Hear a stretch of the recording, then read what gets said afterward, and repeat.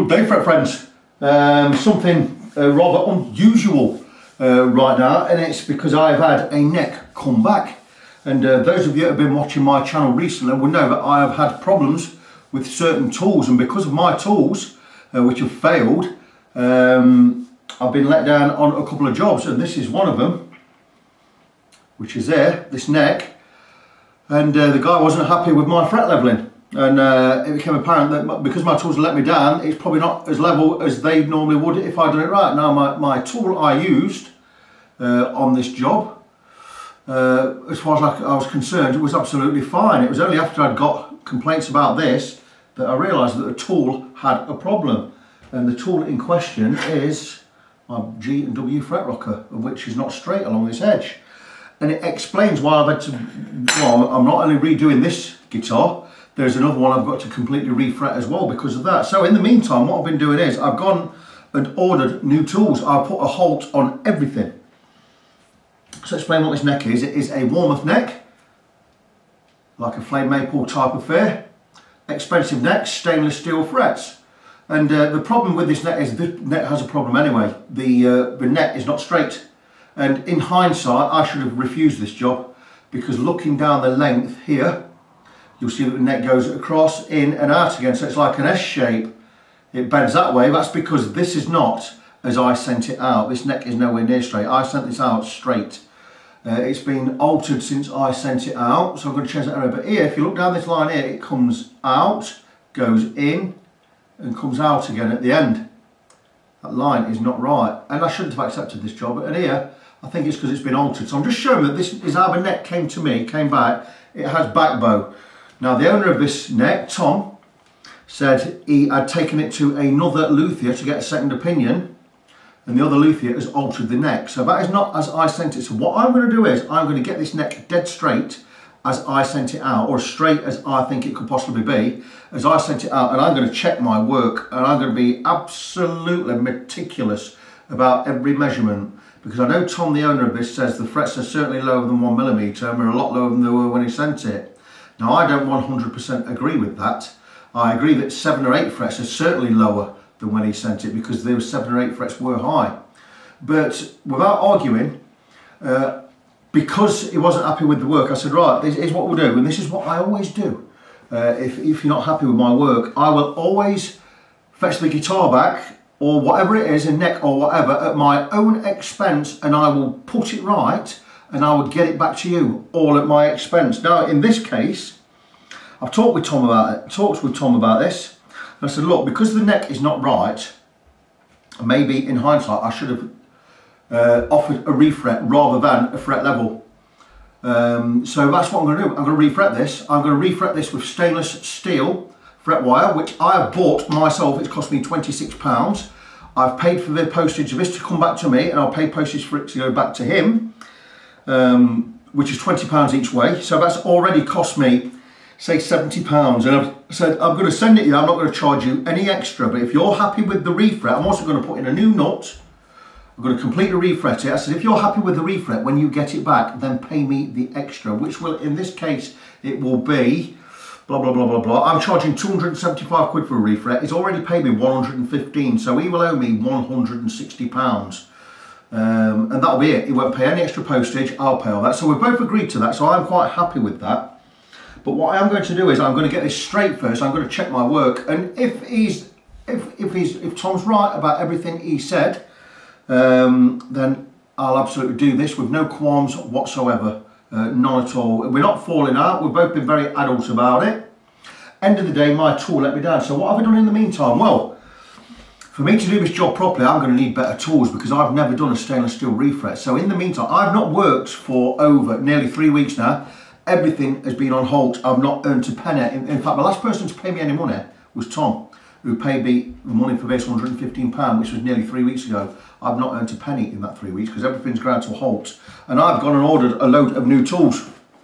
There being one of them, here being another one, and, uh, and here being another one blah, blah, blah, blah, blah.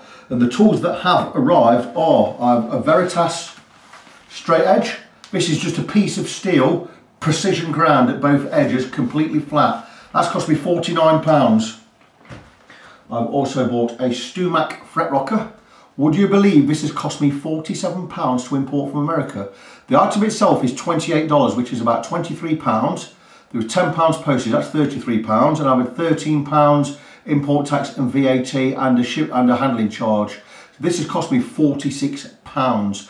In hindsight, I should have ordered this from Madinter, which is a company in, um, in Spain that sells StewMac gear. I've also ordered a load of gear from Madinter, uh, StewMac gear, and this could have gone on it. It'd have got here a lot quicker, but those tools aren't here yet. It's why I've not resumed my work. I've also bought this from Guitar Tools International, which arrived this week. This was, I think this is £13 delivered. Uh, and I've spent £350 on tools. I have new files coming.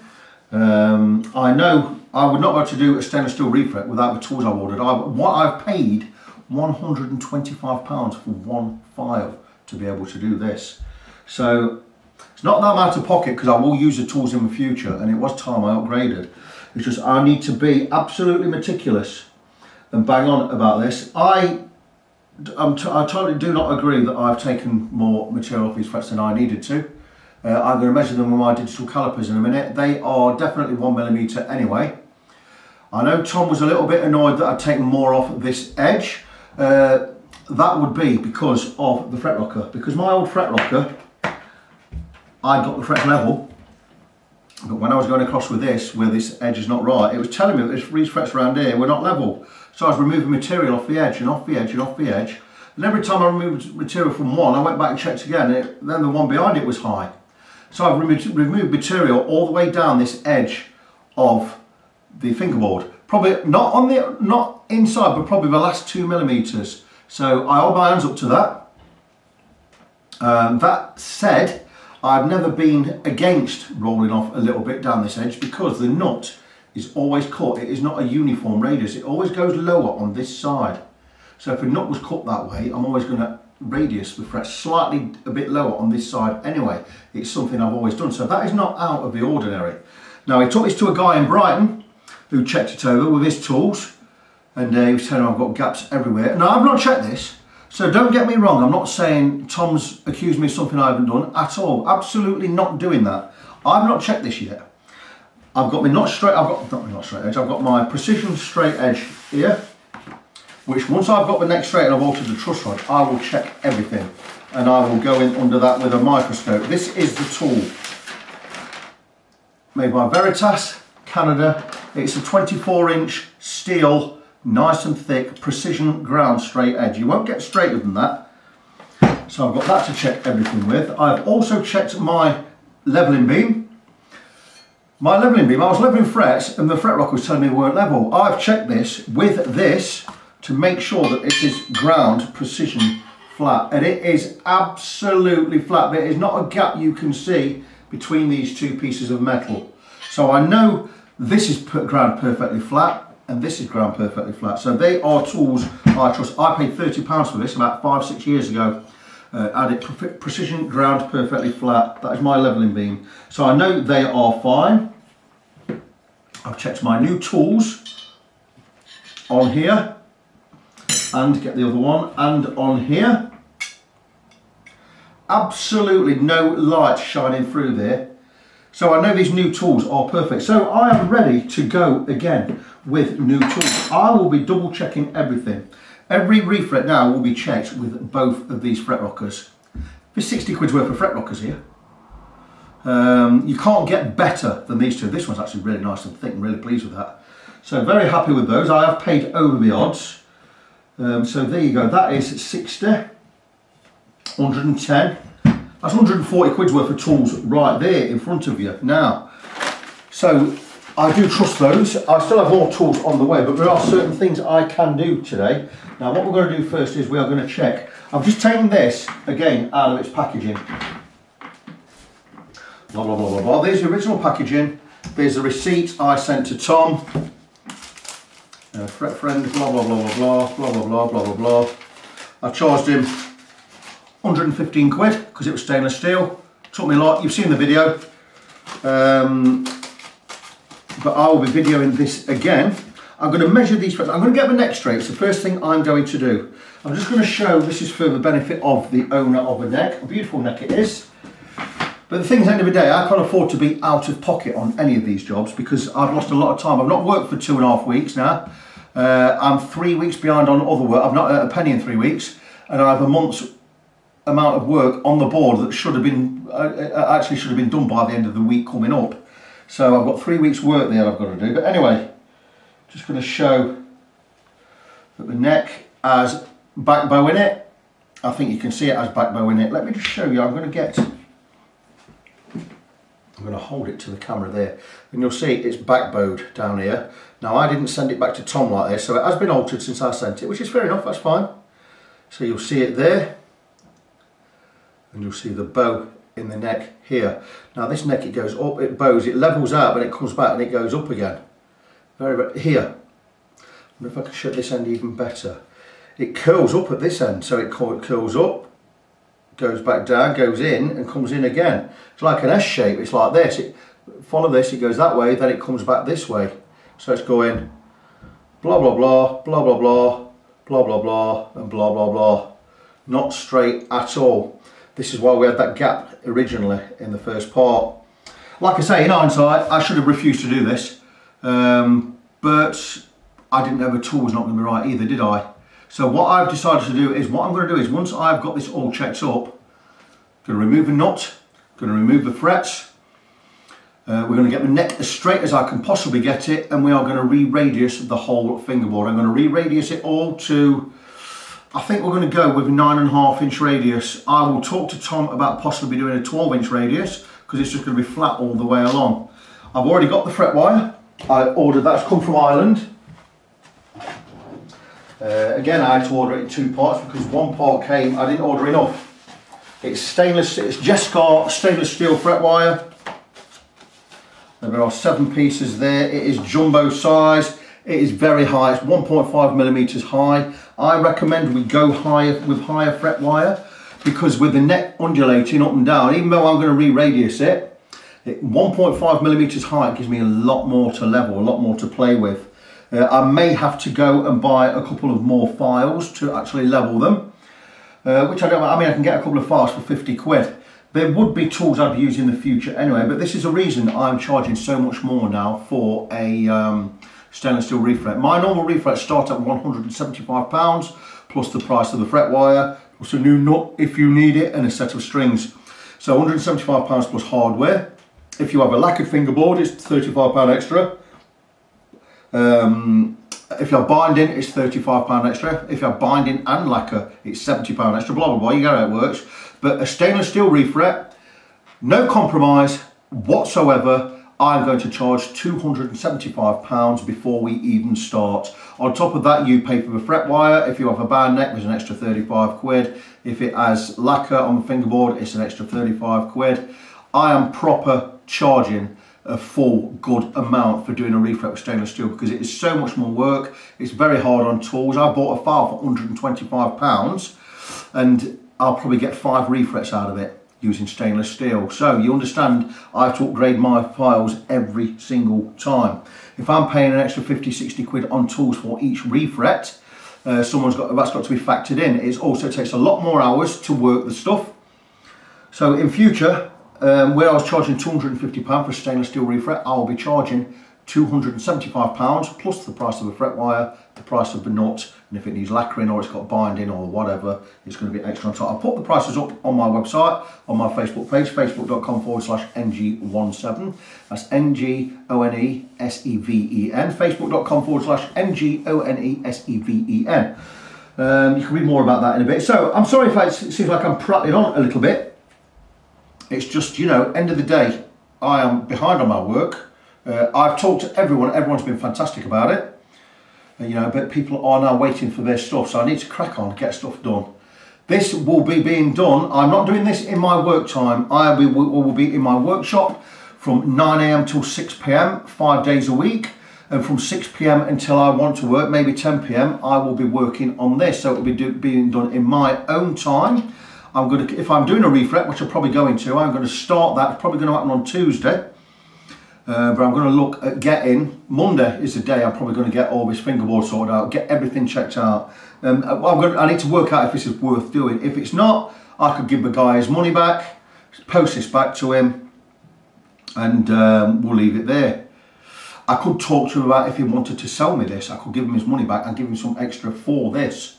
Uh, with the tuners on as well, factor that into it. That might be better for him, it will give him more money towards a brand new neck. He might be into that and I will then end up with a brand new Warmoth Telecaster neck um, for maybe, you know, not as much as it would normally cost me and I can refret it myself anyway. So these are options I could consider. I'm sure Tom is open to it. Tom is already prepared to say, look, it's been a bad job, right? It's not helping anybody out. We're not going to be able to get it, or it's going to be too expensive or whatever. Just give him money back. He'll scrap the net and go and buy another one. He's already, we've already kind of discussed that. So it may be an option for me to actually give him some compensation for this. You know, pay him back what he paid and uh, we'll see where it goes anyway. So let me get my truss rod adjuster in there. I believe it's a 4 mil and I'm going to, I'm just going to check where it is actually because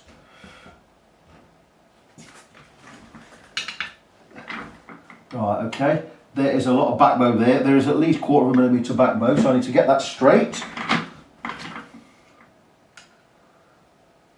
Is that the right one? Is it a 4 mil? I thought it was, I might be wrong. Ha ha ha ha. Doesn't seem like it is, because that's not doing anything. That doesn't feel good. Bear with me a second. We'll keep the camera rolling. I'm sure that was a 4 mil. 4 millimetres. That looks a bit big. Okay, let's give it a go. Might just not be at the right angle to get that in. Right, we're going to loosen. See where we are.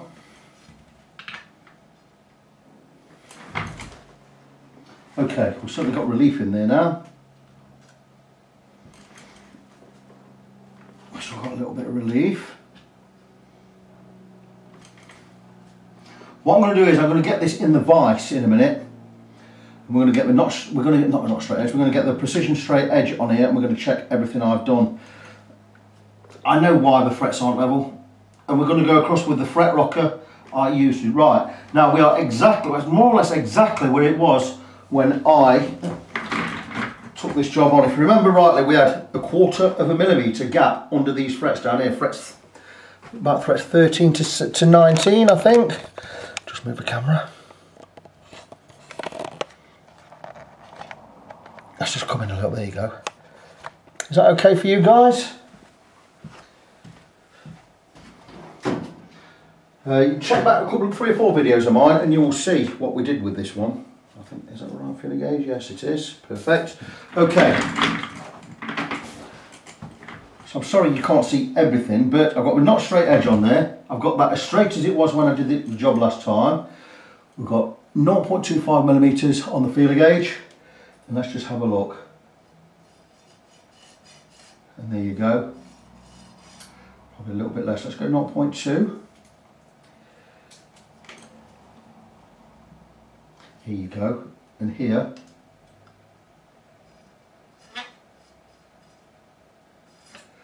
it's not as pronounced as it was before, so let's just check again. I'll just check again. We've got this straight. Okay, we've just got a little bit, we're a little bit backbowed still on this corner. Get this edge straight. Right, I'm liking that. That is as I set it up. So let's go with the 0.2 millimeters. And there you go, it's just, just going under.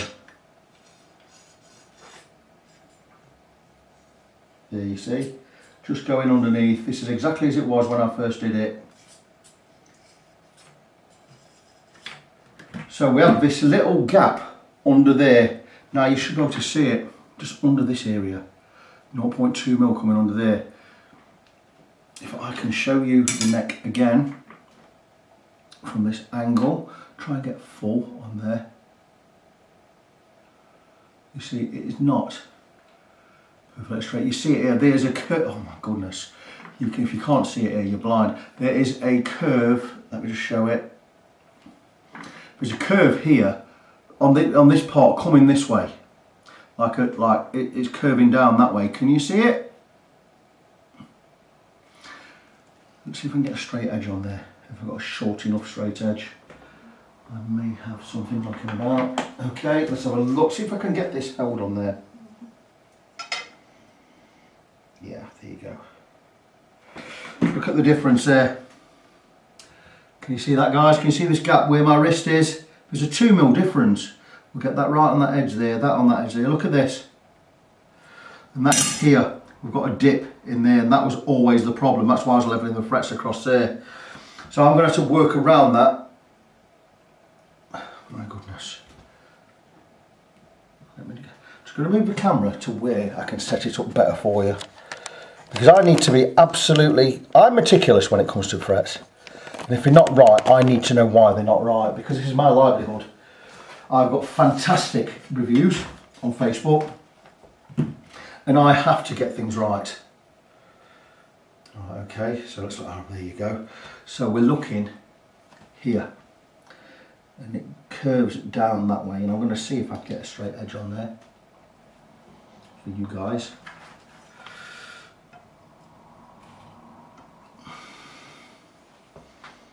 Right, we'll take it from there, get that where it needs to be.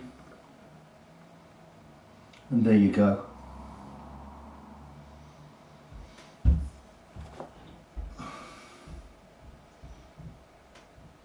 And there you go. See that gap there?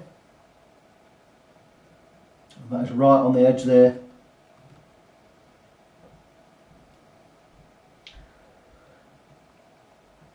You see there the difference? There's a one mil difference here. That's because it curves down. That's why we've got that gap under these frets. So what I'm going to do is, I'm going to check these frets while we're here.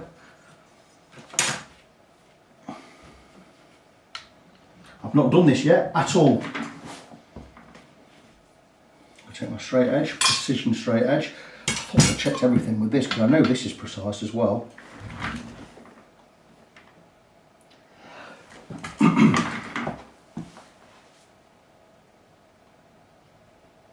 And there's definitely a gap on that fret there, that fret there.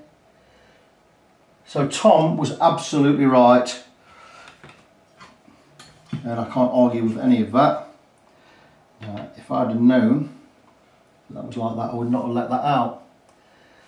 This is saying different, but there is still a gap. I'm going to take a light from behind. So I hold my hands up to that.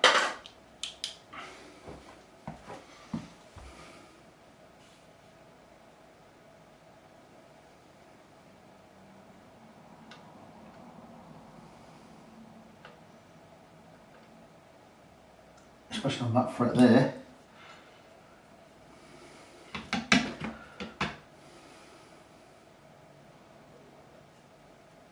edge is pretty much okay. So I'm going to go for a refret. Let's check with the new not straight edge along the whole length. Not the not straight edge, sorry. Fret rocker. So let's go here. That's okay, okay.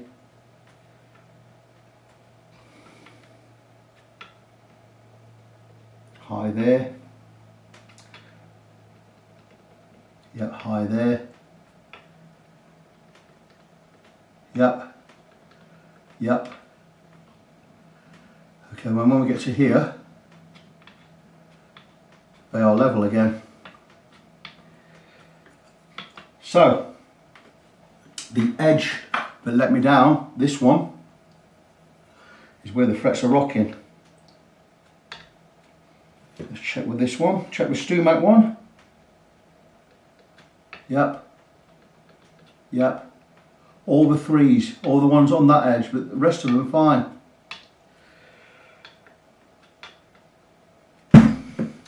Go with the Guitar Tools one. This is actually good for me because it shows that the tool has let me down. It's not my work.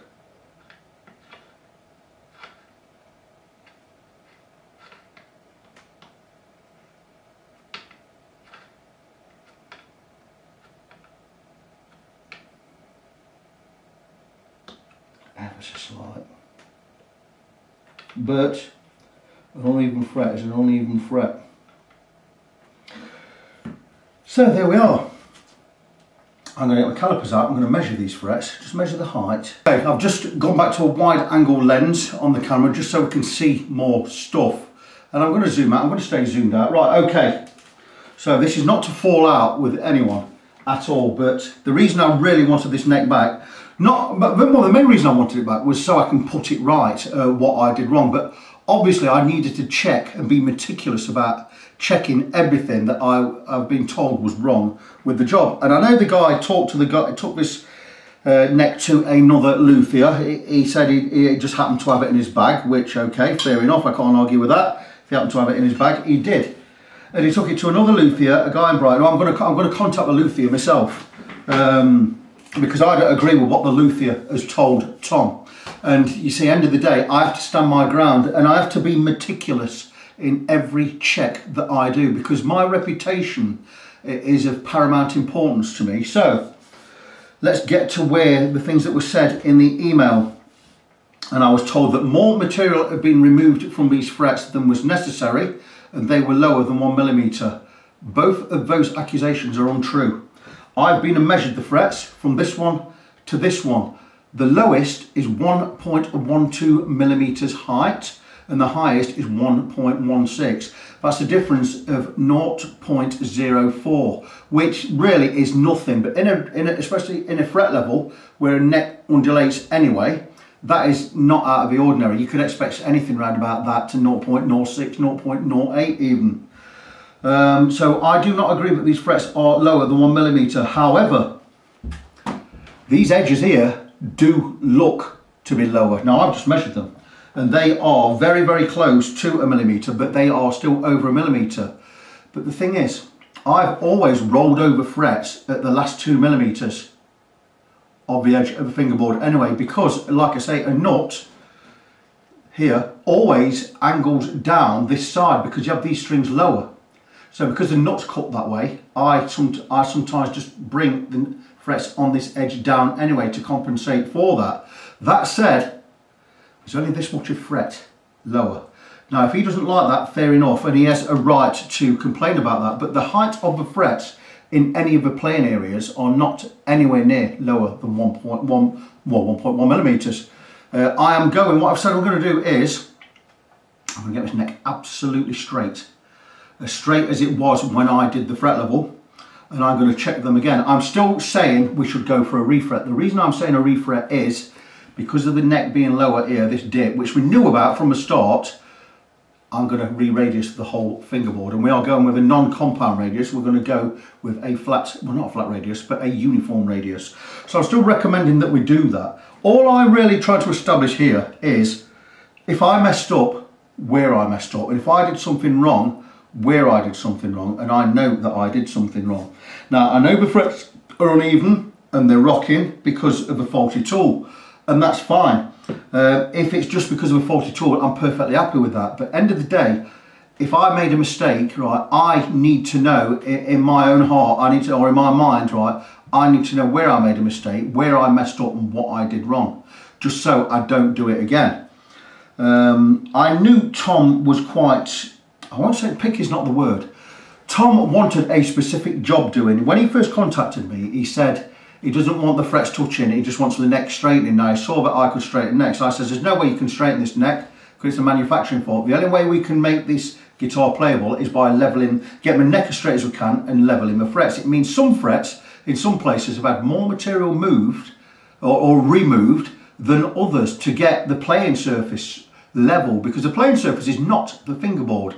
As I said, it is the frets. So that is what I do. So some frets are going to be lower anyway uh, because of the undulating nature or, and the dip in this part of the fingerboard here. This neck here goes, it goes sort of straight there, then it goes down, then up again at the end. It also goes down, so it goes down from this end, it's a little bit lower, so it goes up, straight, down, then up at this end. And that's a manufacturing fault along this area here. This is why to make the plane surface the frets. So that is where I am on this. I don't think these are stainless steel frets. They don't wear. So if we have to re-level these and bring them down to one millimeter, anything above 0.8 millimeters, right, is spot on. It's only when we get below 0.8 millimeters we have a problem.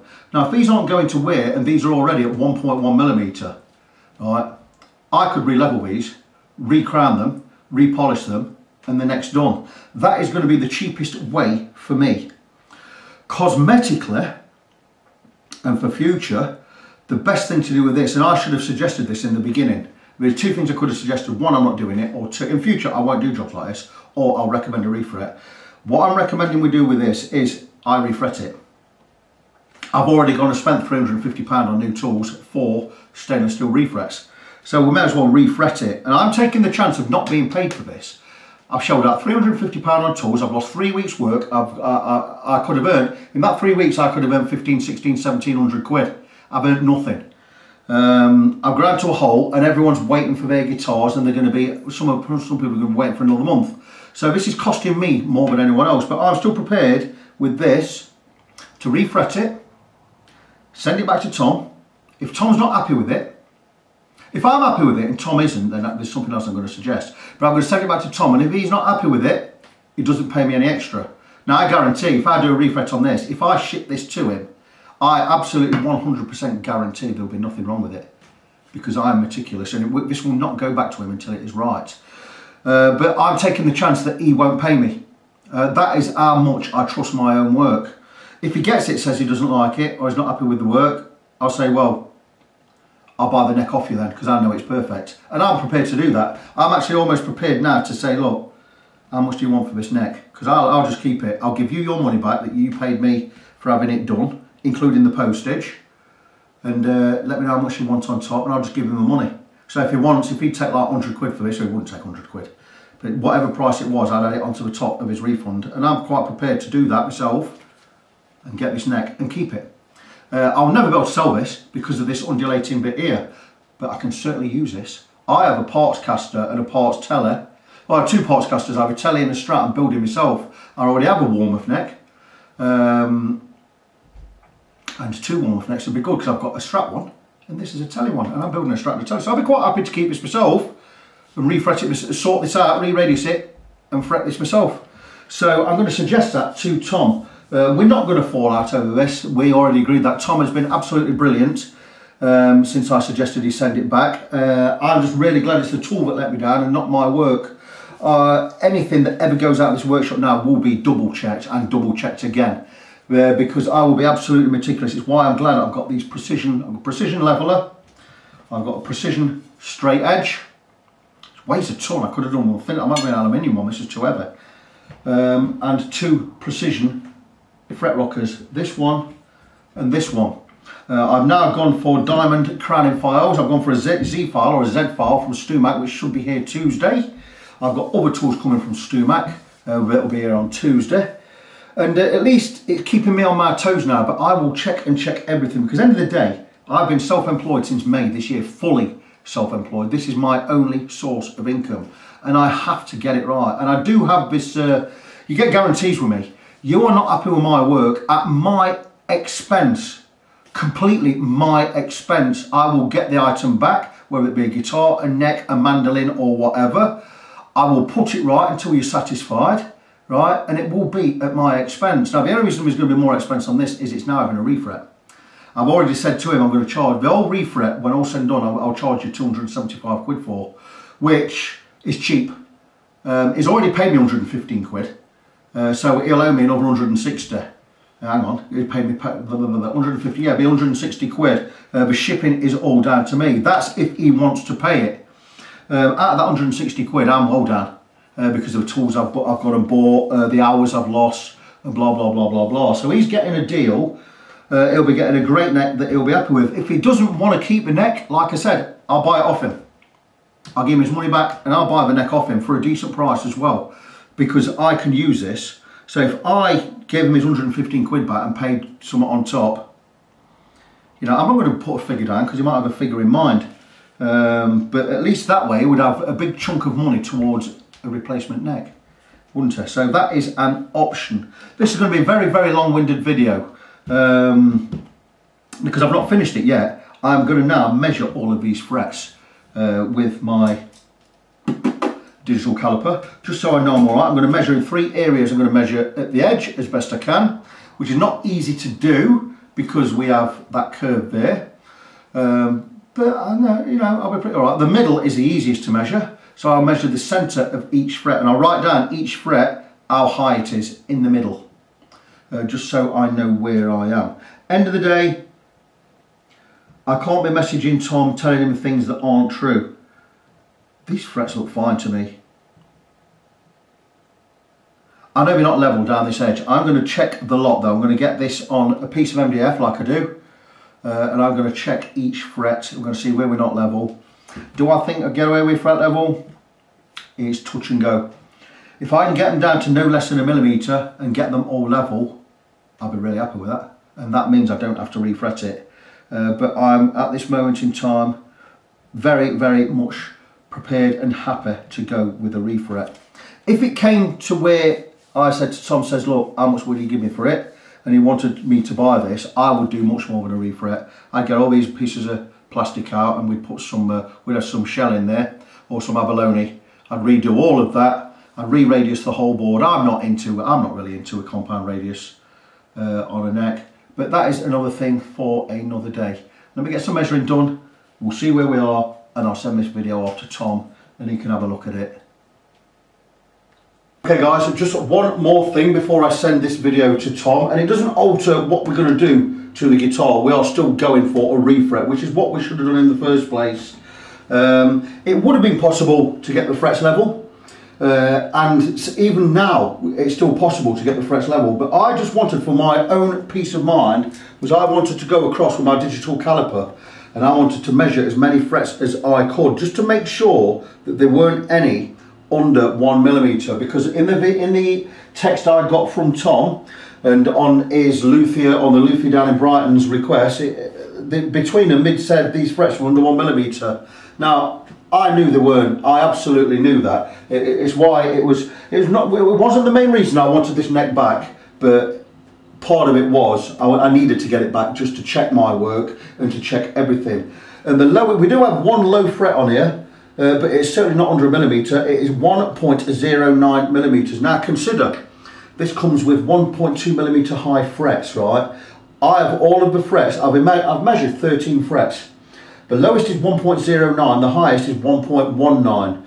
Now that, in the confines of a 1.2 millimetre fret with an undulating board, to get them all over one millimetre anyway, it, it is, well, it's not remarkable, but it's, you know, you would, you kind of expect to get some as low as about 1.05.